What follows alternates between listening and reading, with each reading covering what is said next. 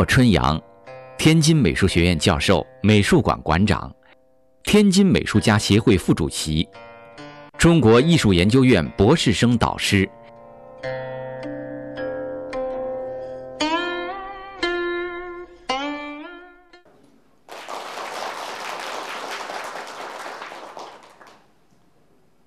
好，今天咱们加一课叫做中国画的章法，也叫构图，也叫布局。实际上，它也是在讲造型。这个构图的法则，一般我们在别的科目里边也接触了一些，但是没有很详细的、系统的来讲。在西方，他在讲构图的时候，在讲。不等边三角形的这样的构图，那中国的说法就叫做之字形，西方也讲 S 型，就是在咱们讲梅花的时候谈到了太极图里边的那条曲线，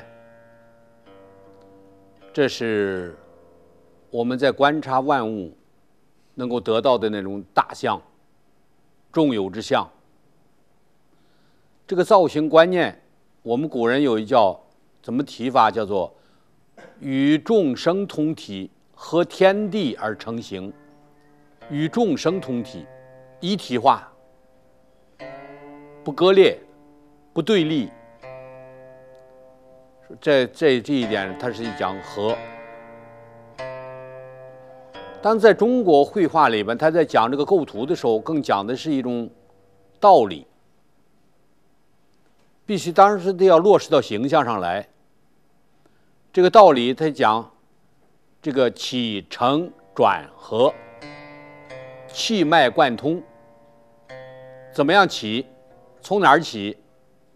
起了以后怎么连接？最后的结局是一种什么样的？他在构图里边，在沈从谦在谈这构图的时候，他讲在。必须要在立意在先了，先要讲疏密虚实，疏密虚实大意早定，立意，然后飒然落墨，彼此相生而相应，浓淡相间而相成，相生相应，相克而相生，相反而相成，它有一个对比。是阴阳是相生的，在这个物色里面，这个疏密关系叫疏可走马，密不通风。也就是说，再反过来，密可走马，疏不容针。拆开则诸物有致。拆开，我是一枝一叶，把它拆开，诸物有致。每一个。每一片叶子，每一个笔道，都是有情致的，有姿态。合拢则通体联络，合起来以后呢，它又非常和谐，联络是有机的整体。中国的这构图里边是牵一发动全身，它是一个有机的整体。是一个生命的整体。这个画面里边有有画眼，因为它的心脏，它的主体，这是有胳膊有腿儿。说在张扬的是一种完整的生命。说这个就是说，产生怎么产生？怎样去出？入纸的时候是用什么样的方法入纸？出纸的时候用什么样的方法去出纸？形象是怎么来的？怎么发展？怎么展开？最后怎么结束？它是一个完整的体系，是一个生命的完整的过程。那就说，我们都要有有这种意识。它的疏密关系，它里边的一点一画。能够做到增之不得，减之不能，严密的推敲。现在我们这个布局构图，往往一枝一叶也好，是现在感觉它很随意，感觉它没有这个严密的推敲。说造型不严格，多一笔也行，少一笔也行。像有些画人物画的那个，他画一条线，造这个形状，他用三笔、四笔、五笔、六笔才画准一条线。那个有很多废线，说了不算数的线，这个在中国绘画里边是不不主张这样的。要求锤炼、精到，一条线顶十颗线，顶一百颗线，要求有这样的含量。说这个呢，就是很严密的，就是要比较讲究，就没废话，言简而意赅。它这个画面上面，它是互相的。阴阳相合，动静相宜。它是怀抱、对应、顾盼，说一个这样的关系。说这个画面里边，它是不是割裂的？整体观念，说这是非常重要的。说一居物色各不相顾，最是大病。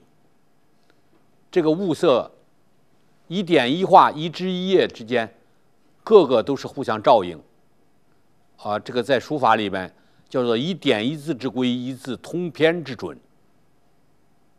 他们是不能多，不能少，他们互相依赖，互相成全，互相照顾，互相呼应，这是它的准则。这种观念，我原先我也崇尚过，出新鲜花样。年轻的时候，也想突破，也想语语不惊人死不休，接触的这种思想，搞书法，搞现在的少字数，搞构成，学毕卡索那个叫立体构成。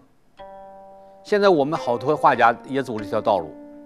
把山水画好好的山水画，像布贴画一样，挖一个窟窿贴一块，他感觉新鲜了，新鲜是新鲜了，但是割裂了，不和谐了。我我原先画葫芦的时候，把葫芦切开，把它错开，呃一阴一阳，一个实的，一个虚的，一个双钩的，一个一个点染的，说这里边就是搞搞这种形式变化。就是理纯理性的思维，这种理性，按西方那种理性来去发展。结果你看看毕卡索的那个，他那个构成，它是割裂的，它是不贯气的，之间的互相那个关联和照应，那种紧密，那没有像东方的这种价值。东方不需要这样。结果我后来感觉喊。赶快收兵，不要再这样搞下去了。虽然说有好多老先生、有地位的老先生表扬我，说我很有希望，但是我并没有顺着这条道路往下走。说这个呢，就是说求新鲜，求在这样的他离开了，就是中国的生命价值的原则。为什么中国绘画里边说它保守？它保守的是一种精神的载体。你光形状变化这个东西不是本质啊。形状这个东西有了形状不一定有神韵，它不一定是个活物。也就是说，我们画板凳都把它画活了，都赋予它生命。曾经在这个老庄的故事里边，曾经有有过一个这样的故事，说这个生小猪生了小猪的这个老母猪，这个喂着小猪在吃奶，躺在那儿，那个小猪饿了以后就嘬他母亲的奶，欢蹦乱跳，啊，非常活泼，这个老母猪有一天不喘气儿了，也没奶吃了，身上也凉了，温度也没有了，那小猪都傻眼了，怎么回事？也没吃的了，也没温度了，这母亲不可爱了，所求的这一个一个小猪另找吃的去了，离开了他母亲了。还是那个形状并没有变，它就是不喘气儿了，没精气神了，死了。形状没变，小猪跑了，不跟它了，说明一个什么道理？小猪喜欢的是一个生命的载体，是一个活生生的。说我们画的梅花也好，画石榴也好，画珠子也好，它是有生命的，是有神韵的。说有的人来讲呢，活着，也可以说是呢，他已经死了。怎么来讲呢？他画的那个东西是死的，没有生命，没有神韵。送画，感觉十套八大，都感觉他还活着，他还有一种气息。你在读他的画的时候。他还给你一种气量，你还能领略这种精神。说人死了以后不要紧，人死了你的作品还是活着，你的神韵还在，那就是我们谈到的，就是说这个文化发展的这种历程，那叫印度人的一种价值，生命的延伸，这种生生不息，能够我们把我们的神韵、精气神儿。能够把永恒的这种精神凝聚到你的作品里面来，那你就说你这个生命是不细的。他们在研讨会上面，陈寿祥先生说：“说这种构图、造型意识、造型的观念，我们更多的是这种东西，这种意识。你会布会布局了，会这样摆了，你摆出来这个形状是有。”没神韵，没精神，没有境界。那你虽然说我从构图上找不出你问题来，但是你是个死的形式。这是东方和西方所不同的。说这一点来讲，这是我们应该尊重的一种东西。具体到一个讲了一些如何布局这一幅画面里边，我可以讲具体，可以讲一讲这些东西。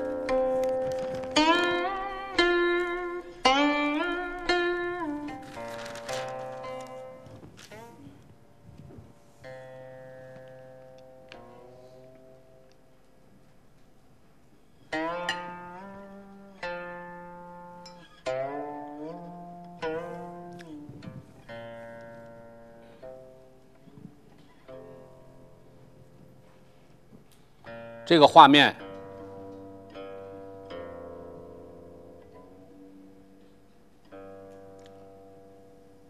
分这样四块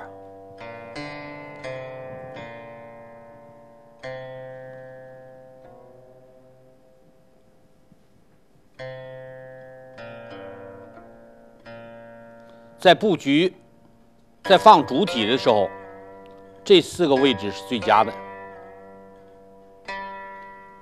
什么地方是不好的？这个角四个角是不宜放东西的。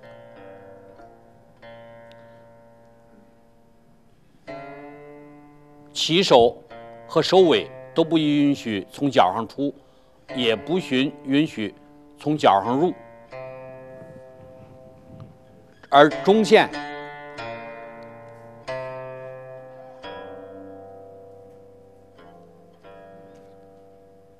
这个地方是不宜出入，当中不宜放东西。这四块以后怎么处理？这四个不能争夺，那应该怎么处理？那是左争这边，如果要是争这边有，这边肯定是左争右让，上边让了以后，下边就争。右边争了以后，左边就让，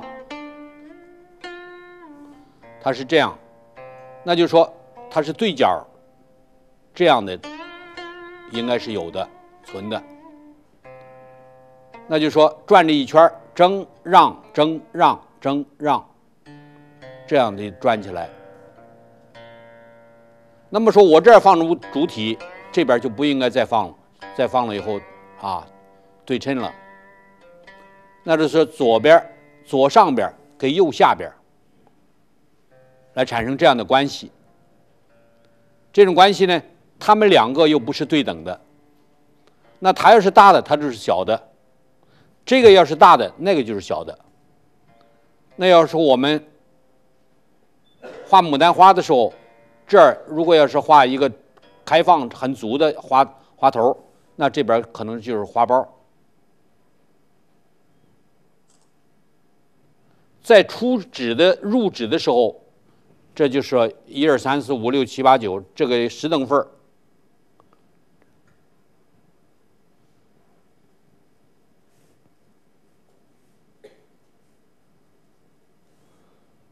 就是十份儿。这是一二三四五六七八九十。当然，我这不具体的发，就不不这样啊，不这样就具具体的分去了啊，就大概其就是十份出纸和入纸的地方应该是三七和二八，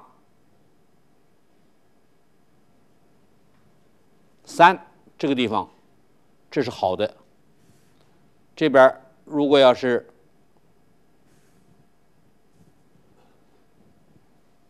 一二三四五六七，这边这是好地方，这是好地方，二三或七八的地方，这是好地方，这是好地方，这是好地方。出纸的出入的的时候，从这地方入，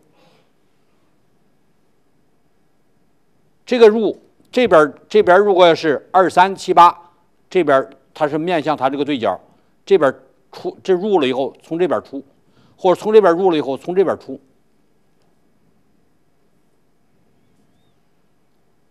这这个数字要这样规范它，很严密的拿数字规范它，就是每可以数取，啊，宋代我们的祖先就已经发现了每是有数，是有尺寸。有尺度的，但是我们没有算出来这个黄金比，我们就是好像是没有必要这样算它。每个艺术家，高级的艺术家，不是拿着尺子来量这个零点六六幺八这样的来去来去安排的。问题我们虽然说有这种意识可以数取，但是我们注重的是神韵。形状，把形状放到次要位置，得意而忘形。高级的大夫，他是具体问题具体对待的，是活的。我记得在，我到安徽那边去，那是有一个华佗庙，到里边他们给我讲，就说。药无剂量，针无数处。那个外行的大夫呢，他在给你扎针的时候，他给你量，哦，在几个几个几指这边哪儿往哪儿扎，呃，给你量一量，往哪儿扎，这是低劣的。高级的大夫根本不用量，他知道知道在哪儿，夸一扎就准。每个人的尺寸是不一样的，大概其有一个有一个有一个规律，但是因人而异。跟这血压一样，血压有的人你说给他降降压吧，降到以后正常的这个众人的这个血压了，他受不了了。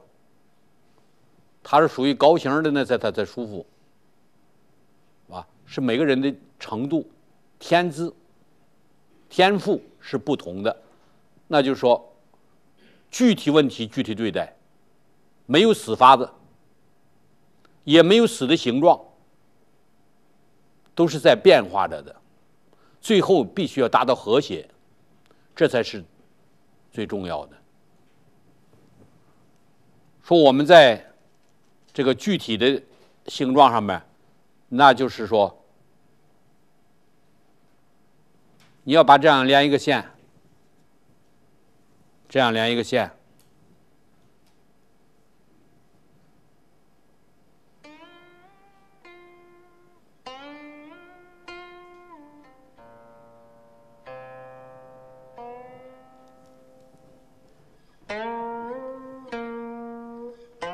它是应该是不等边三角形，应该出现不等边三角形。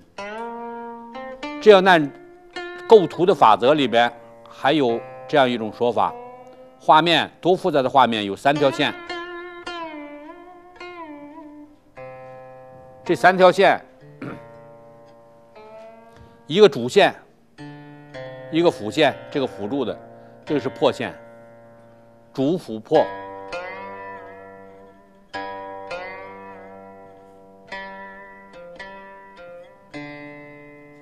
这个是横的，这两个是纵的，这个长的，这个中的，这个是短的，这个实际上也是一个三角形。这样是否有变化最最小的一个结构的一种最全面的？这再再不能减了，减到这个三，就打住了。有的说是呢，这个构图。形状的安排，S 型，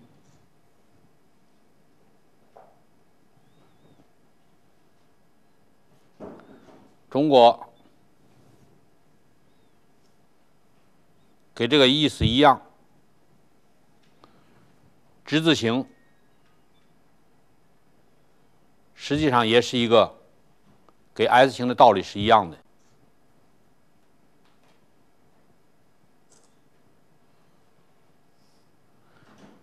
这个之字形的长边和短边，长比的和长线和短线的比值，也应该接近黄金比的，啊，不是平均对待的。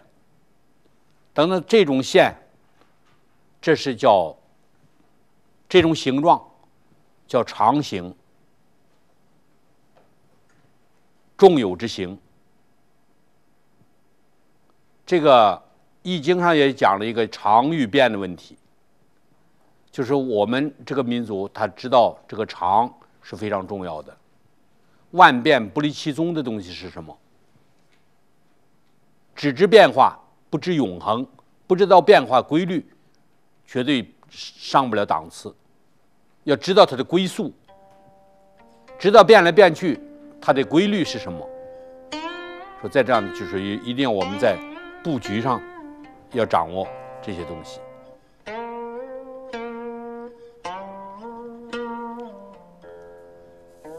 说有了这个，我在在这个讲竹子的时候，已经跟你们说过一个这个道理。把这个上边，这是一个长方形，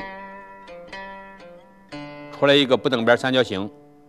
这个形状，长线、中线、短线、大线、大的、中的、小的。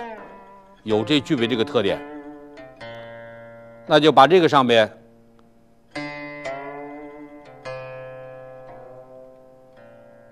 做一个黄金比的线，S 型线。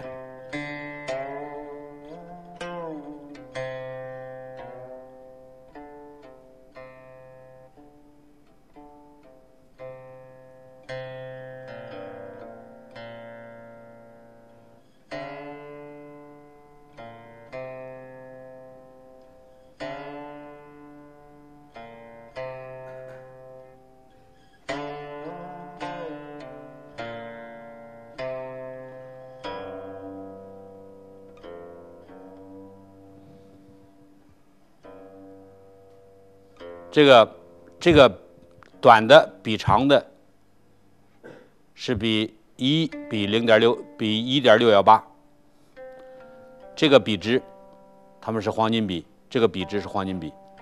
它这里边出来的这个形象，那这个出来的形象又具备了 S 型，又具备了三角形，这样把它们这种道理就融为一体，出现这样的一种形象。我还没有发现更多的别的形象，这算认识到的。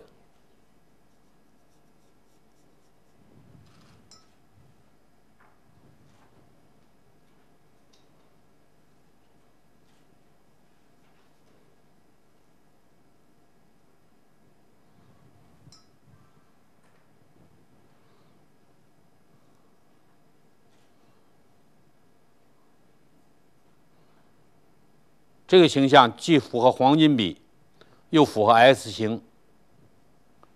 这叫一个 S 型的曲线，这是 X 型的曲线，这是 X 型的曲线。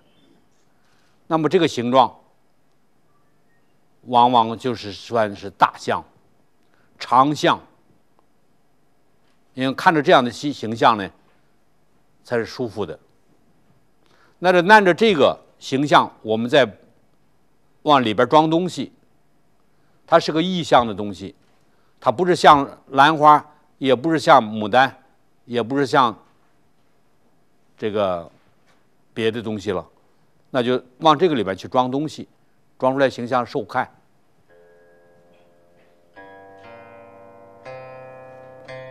那就是我给你讲那个竹子画竹子的那个形状，那个组织方法。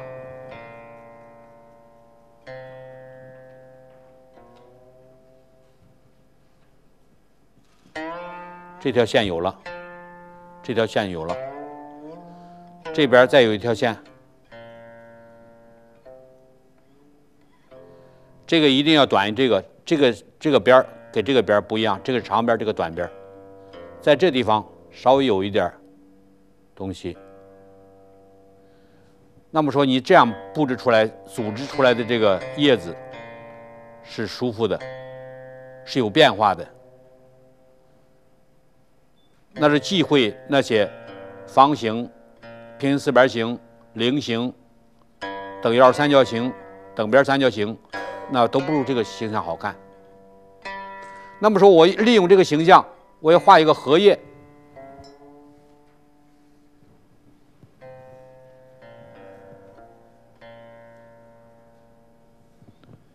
还是这个形象吧。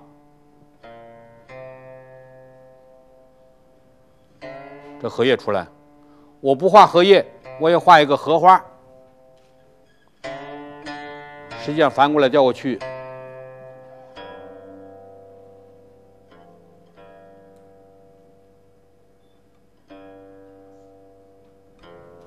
实际还是一个宽，一个窄，一个长，一个短，一个纵，一个横，有个疏，有个密，还是这种形象。它这也是有变化的。我画个牡丹花。实际上，也是要有把这个东西，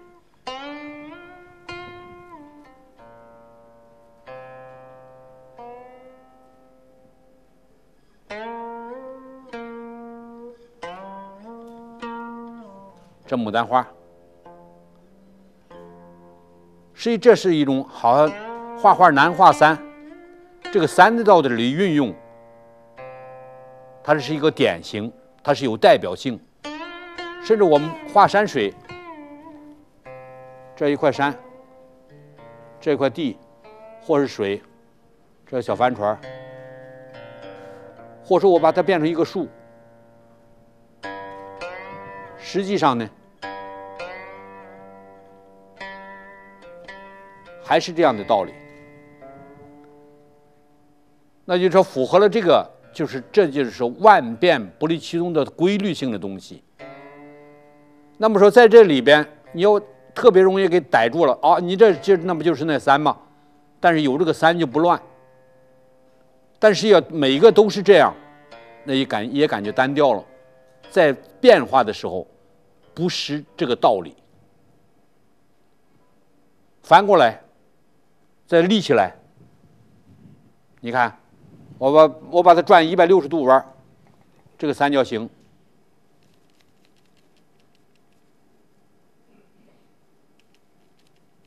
竖过来了，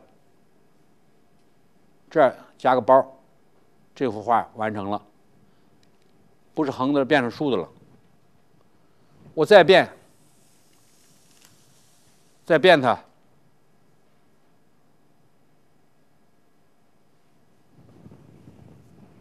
把这一片变成一个大树，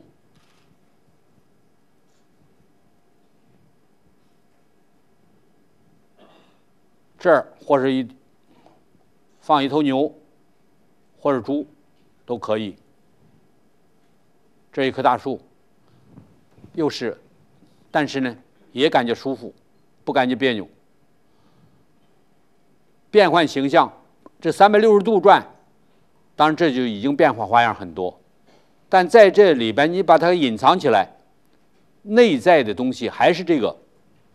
你可以还加一些别的东西。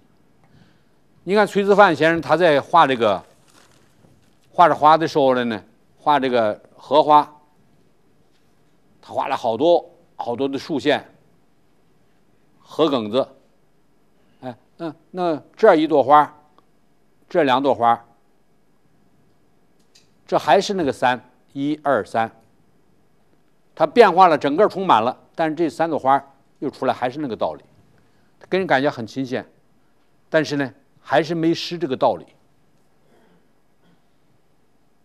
说这就是我们学了这种东西，学了这种理以后，常行，物无常行也有常理。我们把常理得到了以后，你就自由了，离开老师以后又会造型了。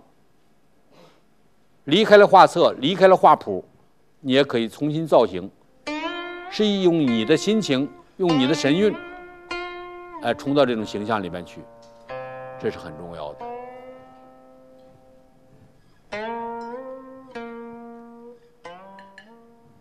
这个构图呢，它还有一种内敛式的构图，有一种外扩式的构图。外扩式的构图是一种什么样的呢？是把这个三角形外边的这个这个地方都把它占掉，空着这个三角形，这是叫外扩式的，把这个四边都占满，空中心，把这个中心空出来，这样的一种方法呢，这叫用外扩式的。内敛式的呢，是把这个画面里边这个三角形充满它。这叫内敛式的。我在里边画一朵花，四边都空着。这个这个花的形状符合这个三角形的这样的一种啊，要不就上边大，要不是下边大，要不是哈翻过来调过去，这样是这样的一种形状，这叫造型，造这样的形状，外边是空着的，这都可以。都达到的目的是一样的。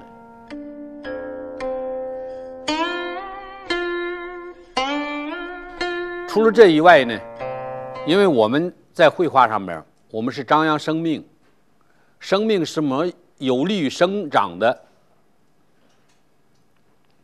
它有什么特征？到春分，春天来了，万物复苏，生命开始出现。小草、树芽，啊，一些包括人都开始有活力了，出来了，工作了。这个时候是春天，春天是阳气上升，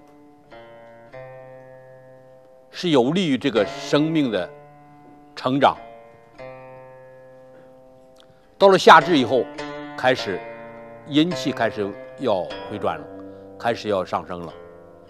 一天天到秋天，现在天气冷了，到冬天，到一种冬至，发展到了极致，那阴气占主要，阳气弱了。有利于生命是往上升，不利于生命是往下降。这这是一种自然规律。欢喜的声音。是往上升的，喜鹊叫唤，它是往上扬的；乌鸦的叫唤是往下往下低沉的。这个我们高兴的时候的声音，乐的声音是往上走的；哭的声音是往下走的。乐的时候是往上翻的，哭的时候是这个嘴嘴垂下来了，不但嘴。眼也垂下来了。如果人的眼眉这一直朝下，我估计不是太好。呃，朝上特别特别强了以后也不行。但是这个啊，往往立起来眼眉，往往是爆裂，这个阳刚气太足。但这个就说我们有时候要注意到这个，就说为什么出现了这个。我们画画的时候，不画倒着倒着个儿的往下垂的梅花呢？一个是倒霉，倒着个儿的梅，说你你快倒倒霉了，谐音不好，不吉祥，不吉利。再有就是，有人给我看风水的跟我说过，说这个哪儿哪儿一个大厅里边挂了一进门挂大瀑布，一个大照片，或是画了一张画大瀑布。说赶快把它摘了，为什么？说这个瀑布是往下流的，它在砸你的运，就一个劲儿往下送。这个瀑布下来以后，必须要接住下边的石头往上周，这还算。如果下边这个石头接不住以后，一直这个势是往下走的，你倒霉去吧。但是说我们盖房子要盖的要高一些，不要太低，太低了你压你的气，让你气扬不上来。这鸡蛋壳儿养王八，越越养越抽抽，它主要就是它就是说要压气憋气。说这一点来讲呢，就是说我们在构图造型意识往上的，往往在这个。画柳树的时候，柳树它象征着悲哀，往往阴气比较重。两个人在离别的时候舍不得难难舍难分的时候，折一个柳枝，表示沉痛。你你你送别了，你拿一个大牡丹花送给，哎呀，你可走了，你赶快走吧，就很我很我很高兴，我很欢我很欢乐。你应该是低沉的，到时候你很欢乐，你是嘛意思？让我走是吧？说这样来讲呢，那就说这个我们在画画的时候，有些往下垂的东西，它它这个气一定要往上回，包括我们说明这个道理，甜的东西可能在这个味觉上面，它是一种往上的。小孩愿意吃甜的，他是发育成长；老了以后愿意吃苦的，苦的东西他为了去火，还是去还是为了一些什么？就老了以后愿意吃苦的东西，小孩不愿意吃苦的东西。这从味觉上，从颜色上边来讲，肤色暖色的，暖是有利于活的，暖和。我们平常讲暖和，它不是冷和，冷了以后容易死，冷死我了。他不是冷冷活我了，他不是对不对？说这个呢，就是说我们在设色的时候，设暖色的是向上的。喜欢蓝色，喜欢这个这个呃这个黑色，这个都是不太不太这个这个，它是属阴的，冷色属阴的，而暖色呢，它属于有利于生命的，淡淡的暖。这个实际上一种生机勃勃、蒸蒸日上，是一种这样的色色，不易凄凉，不易这个冷落，是吧？说再这样就说，呃，花儿落的时候感觉不高兴，花儿在盛开的时候感觉是很是很美的，芳心未艾，雏放，是吧？花苞。刚刺开的时候，它是一种象征一种活力和生命力，是吧？说再这样的就是说我们在以后在经营位置，在构图的时候，向下的这种势不要太多，要上扬。枝子垂下来以后有很多，它是还是要往上翻的，把这个气回过去。我们为什么有时候打一个压脚章？它有个构图，前面是上面是黑的，下边这个东西呢，你这儿一大块一大块空白，用打上一个图章以后，这个角上压住了以后，把这个气回上去了。这个压脚章如果没有的话，气一直下去了。就是我们要要把这个这个生命，而且这种气要聚到中央那边来，气归丹田。说这样来讲，这是一种正常的生命状态。这在我们在布局造型意识，有生命力、有活力，怎样去常态是什么样的？我们要找到这样的一个规律。那么说，我们在造出来的东西受看，人们喜欢，都喜欢活，不愿意死。那就说你给这个形象里边给他一种活的基因，正能量，是一种生机勃勃的，好吧？这个我们讲这个造型的这个观念啊、意识、方法。啊，我们讲到这儿，好了。